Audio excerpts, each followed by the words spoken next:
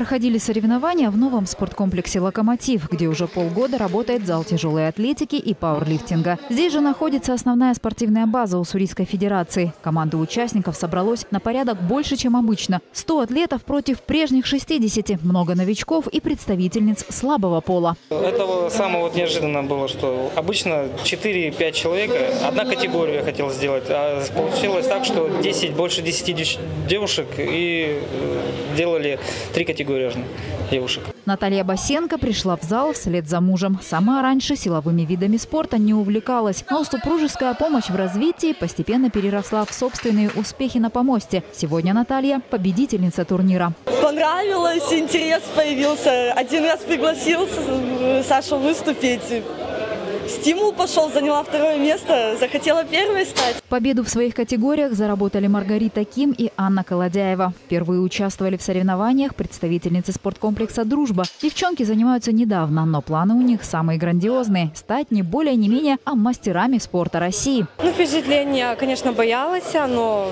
как бы себя переусердствовала. Все и добилась результата. В командном зачете победили атлеты Михайловки. Они стали обладателями Кубка Уссурийска по пауэрлифтингу. На втором месте студенты ДВФУ и на третьем команда ТМК. В середине апреля в Уссурийске состоятся крупные соревнования по силовому троеборью. С 10 по 14 апреля в спорткомплексе РЖД пройдет первенство Дальнего Востока среди юношей 13-18 лет.